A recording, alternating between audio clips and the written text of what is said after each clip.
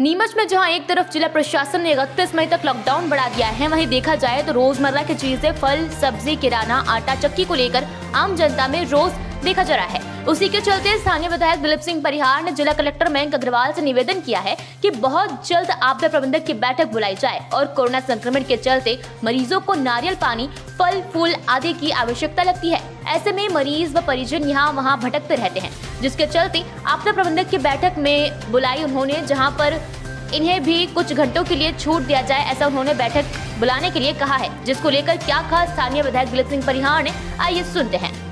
Local विधायक होने की वजह से जो जन समस्याएँ मेरे पास में आती है, उन समस्याओं को ब्लॉक स्तरीय बैठक में हम चर्चा करते हैं, फिर ज़िले की आपदा प्रबंध समिति में बैठक करते हैं। अभी बहुत बड़ी समस्या ये आई थी कि मध्य प्रदेश के मुख्यमंत्री शिवराज सिंह चौहान सबको गेहूँ देने का काम कर रहे हैं। मगर उनको पिसाने कहाँ जाए?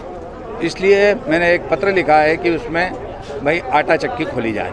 दूसरा ह्यूमिडिटी बढ़ाने के लिए लोग मज़बूत हो इसके लिए। अब देखते हैं कि लोग नारियल पानी के लिए घूमते रहते हैं, फलों के लिए घूमते रहते हैं। तो मैंने ये सुझाव दिया था कि आप फल की दुकान भी खोलें।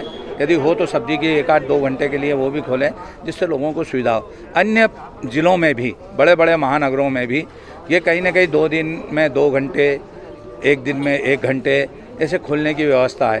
तो हम कल आपदा संबंधी की बैठक है, उसमें निर्णय लेंगे कि लोगों को सुविधा हो, जो कि कम से कम अपना भोजन कर सके।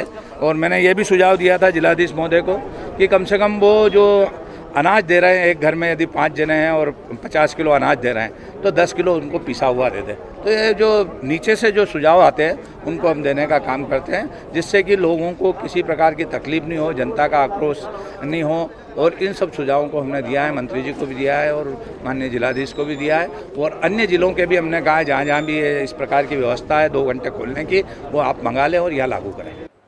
नीमच से दीपक खताबिया की ये रिपोर्ट।